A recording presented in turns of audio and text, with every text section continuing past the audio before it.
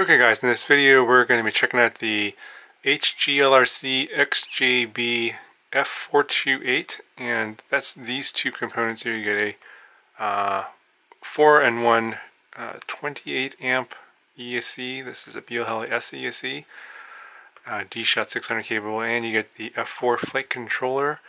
Uh, you can get this separately. This happens to all come together with the XJB TX20 and that's this video transmitter unit. It's called the XJB TX20 and this one has is a power switchable video transmitter unit that goes as a third stack on, on this 20 by 20 uh, setup here.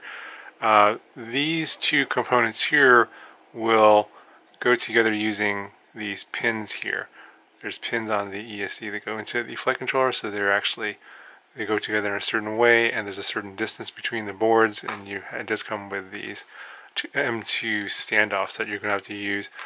Uh, there are no pins that go between the flight controller and the video uh, transmitter. You have to use some wires to solder the video transmitter to the board and there's certain pads on here. Um, let's see if, I'm not really sure if this is going to come out on the camera or not. The letters are so tiny, but you got basically you got 5 volts video out and ground over here and then you have voltage in and ground over here. That's going to be uh, the battery power coming in from the flight board, and I think uh, this goes out, um, or this, this video out that goes to the board, the flight controller board, and on the flight controller, it's a little hard to see here, but there's going to be inputs here for your V, uh, there's plus V, VTX, and then there's inputs here for your camera, 5 volts and your camera. I'm actually just going to put a diagram up here which is uh, depicts all the wiring connections on this board because it's really complicated. Uh, I'm just going to stick that here right now so you guys can see that's going to be high resolution and it'll be very clear because it's really hard to point out all the different pads just by pointing with my finger and this thing is, you know, my finger's too big for this so I'm just going to show you the picture. So what I'm going to do is I'll go ahead and I'll assemble this all together with the standoffs that are included. Obviously there's different ways you could put this together uh, with you know other types of screws and nuts and stuff that aren't included. Uh, by the way, there's no wires included for this, but I'll be using my own wire to wire up the video transmitter to the flight controller. And then I'll show you uh, what it looks like fully assembled. I'll give you some size and dimensions and weights that you guys can know if this will fit into your build. Okay, so this is how I have the video transmitter wired up here to the flight controller. And you just have the video in and out over here from the video transmitter to here. And that goes to the OSD and then you got your power goes there and then your ground goes there. Uh, these pads over here for your receiver. And then this is just going to sit on top. You have to kind of get the wires underneath.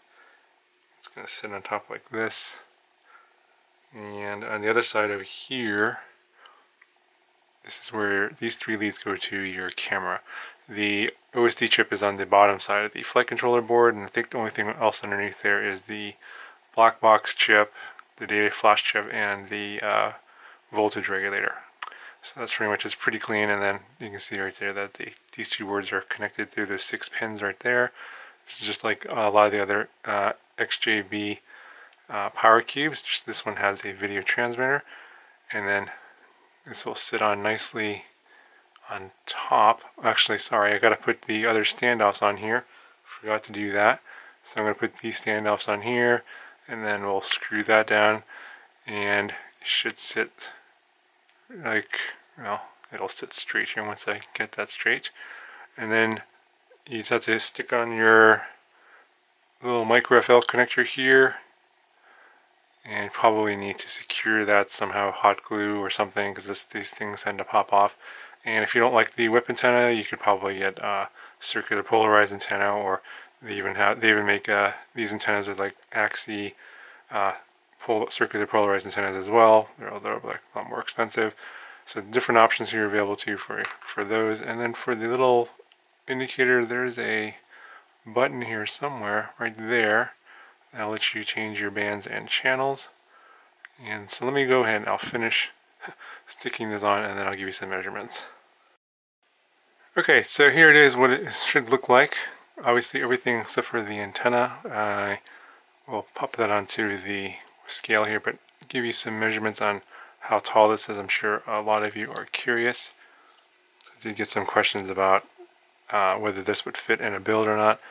So from the bottom to the top, and I'm not going. I'm going to include the top of the screws of the standoff there. It's 23.1 millimeters from top to bottom, and obviously here it's going to be like around 20 by 20. But let's measure this. This is the flight controller 25.2 this way, and it's probably going to be about the same this way. There's the USB port there, so it's a little bit longer this way. And then obviously on the ESCs, is going to be wider where the motor wires connect to. It's 31.3. And then this on this side, you got the tab where the uh, power comes out over there. The, your power lead, that's going to be 31.7. I think that covers all of the dimensions. Let's kind of weight it now. So put this on here with the antenna that it comes in. It's 12.71 grams.